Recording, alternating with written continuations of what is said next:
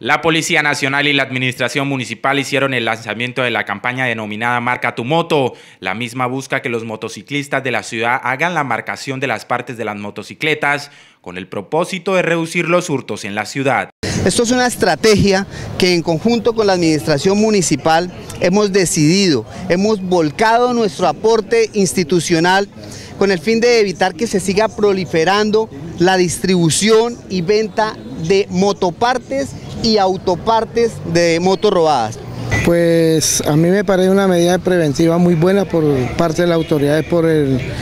motivo de tanto robo de moto acá en Barranca Bermeja y es bueno, me parece muy bueno, un detalle muy bueno con la, Policía Nacional, con la comunidad acá de Barranca, me parece excelente. Eh, muy buena, les cuento que es una campaña muy buena porque ayuda mucho a controlar el, el robo de autopartes acá en,